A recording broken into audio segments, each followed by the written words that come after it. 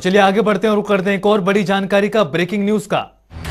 बड़ी खबर आपको बता दें, कोरोना के हालात पर प्रधानमंत्री की समीक्षा बैठक अब शुरू हो चुकी है।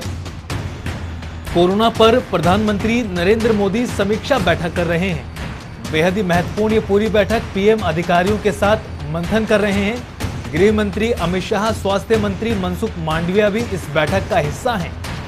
तो कोरोना के हालातों पर प्रधानमंत्री नरेंद्र मोदी ये समीक्षा बैठक कर रहे हैं। जिस तरह से कोरोना के मामले बढ़ रहे हैं, जिस प्रकार से पॉजिटिविटी रेट में बढ़ोतरी दर्ज की जा रही है, वो कहीं ना कहीं चिंता का विषय है और इन सब के बीच ये बड़ी और महत्वपूर्ण जानकारी आपको बता दें, प्रधानमंत्री नरेंद्र मोदी कोरोना के हालातों को लेकर समीक्षा बैठक कर रहे हैं और साफ़ तौर पर कई तरह की संभावनाएँ हैं कि इस बड़ी बैठक में कोई बड़ा निर्देश या निर्णय भी लिया जा सकता है कोरोना को काबू में पाने के लिए।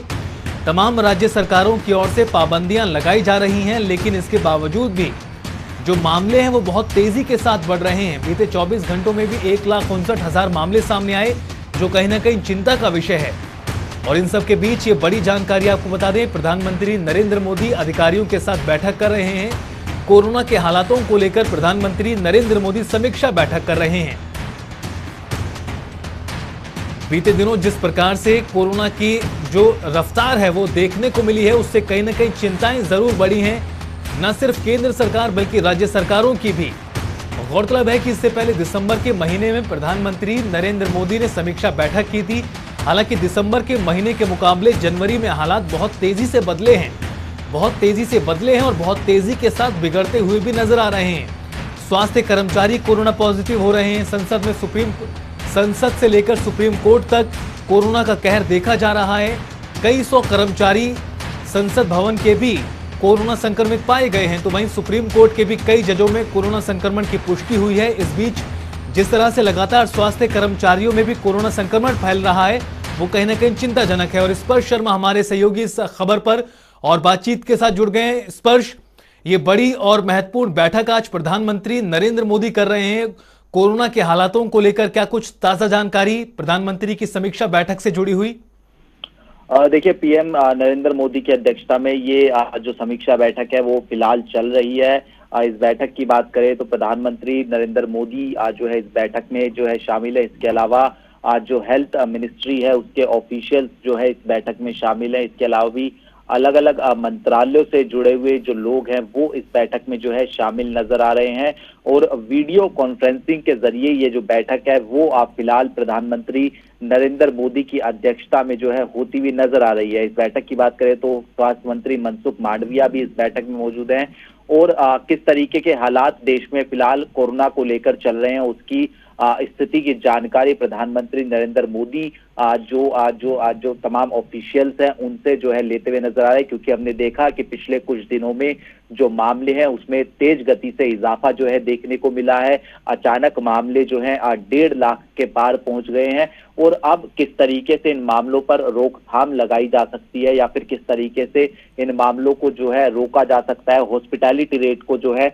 जो है, ना बढ़ने दिया जाए। इन तमाम मसलों को लेकर जो है, फ़िलहाल प्रधानमंत्री नरेंद्र मोदी की अध्यक्षता में ये बैठक चल रही है। इस स्पर्श, जिस तरह से तमाम पाबंदियाँ और सख्ती राज्य सरकारों की ओर से लागू की जा रही है, इस बीच ये जो बैठक हो रही है, क्या माने, क्या समझें, क्या कोई बड़ा निर्णय भी लिया जा सकता है कोरोना सख्ती को लेकर और भी ज़्यादा? देखिए इसमें ये हो सकता है कि केंद्र सरकार और राज्य सरकारें मिलकर किस तरीके से जो है साथ मिलकर जो है कार्य कर सकती हैं ताकि कोविड की स्थिति पर जो है रोकथाम लगाई जा सके। इसके साथ साथ वैक्सीनेशन की गति किस तरीके से तेज और जो है बढ़ाई जा सकती है, इसको लेकर जो है हो सकता है कि आज की बैठक में किसी प्रकार का जो मंत्र है वो प्रधानमंत्री नरेंद्र मोदी की तरफ़ से निकलकर सामने आए। क्योंकि अगर हम पिछले कुछ दिनों का ग्राफ देखें 27 दिसंबर को मात्र छह हज़ार तीन सौ अट्ठावन मामले देश में थे, लेकिन 8 जनवरी आते आते एक लाख डेढ़ लाख से ऊपर मामले जो हैं, वो भारत में देखने को मिल रहे हैं। तो कुछ इस हिसाब से समझा जा सकता है कि किस तरीके से जो आज जो कोरोना है, वो एक बार फिर से कहर बरपाता हुआ नज़र आ रहा है। हालाँकि राहत भरी खबर सिर्फ़ ये है कि हॉस्पिटैलिटी रेट जो जो दूसरी लहर में देखने को मिला था उस तरीके का अभी नहीं है तो इसलिए एक रिव्यू मीटिंग जो है इसको कहा जाता है बिल्कुल रिव्यू मीटिंग हो रही है लेकिन इस पर इसमें वैक्सीनेशन को लेकर भी खासतौर पर चर्चा हो सकती है क्योंकि जिस तरह से देश में 150 करोड़ डोज अभी तक लोगों को दी जा चुकी है और हाल ही में प्रधानमंत्री नरेंद्र मोदी ने एक कार्यक्रम में वैक्सीनेशन का ज़िक्र किया तो वैक्सीनेशन को लेकर भी प्रधानमंत्री नरेंद्र मोदी ज़रूर कोई ना कोई मंत्र इस बैठक में दे सकते हैं।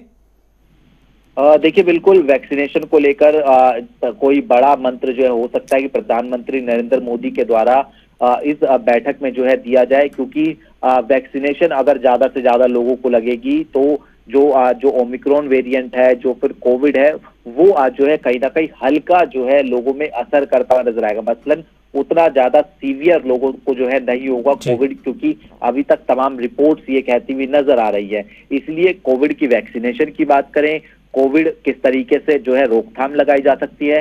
केंद्र सरकार राज्य सरकारें मिलकर किस तरीके से काम कर सकती हैं? ऑक्सीजन की क्या स्थिति है? तमाम संसाधनों की क्या स्थिति है? इन तमाम मसलों को लेकर आज की इस बैठक में चर्चा जारी है।